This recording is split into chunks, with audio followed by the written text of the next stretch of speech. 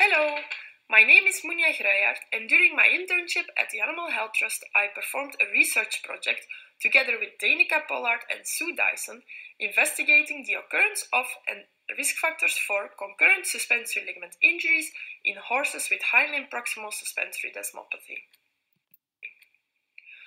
We performed this study since we had recognized concurrent forelimb proximal suspensory desmitis and or branch injuries in any limb of relatively young sports horses and questioned if these horses are inherently at risk of injury. The aims of this retrospective case control study were to describe the occurrence of and identify risk factors for concurrent suspensory ligament injuries in horses with hindlimb proximal suspensory desmopathy.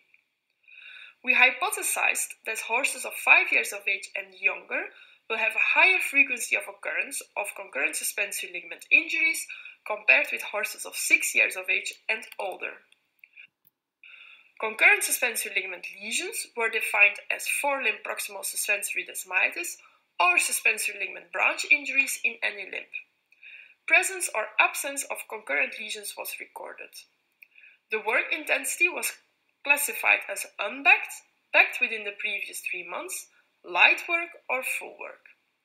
A multivariable logistic regression analysis was performed to identify the risk factors for concurrent suspensory ligament injuries. In total, we had 923 horses with hindlimb proximal suspensory desmopathy included in the study. The median age was 8 years old. In total, 28.6% of the horses had concurrent suspensory ligament lesions. There were 808 horses of 6 years of age and older. The median age was 9 years old, and 27.4% had concurrent suspensory ligament lesions. There were 115 horses of 5 years of age and younger. The median age was 5 years old, and 37.4% had concurrent suspensory ligament lesions. In this group, 51.2% of the horses with concurrent suspensory ligament lesions were in light work or less. In the final model, five risk factors were identified. Horses of 5 years of age and younger were almost two times more likely to have concurrent lesions of the suspensory ligament compared with horses of 6 years of age and older. Other important risk factors were body weight height ratio, breed, symmetry versus asymmetry of hindlimb proximal suspensory desmopathy ultrasonography grades, and asymmetry versus symmetry of lameness grades. In accordance with our hypothesis, horses of 5 years of age and younger had a higher frequency of occurrence of concurrent suspensory ligament injuries compared with horses of 6 years of age and older. Just over half of those young horses were in light work or less, so injuries are not necessarily the result of excessive work.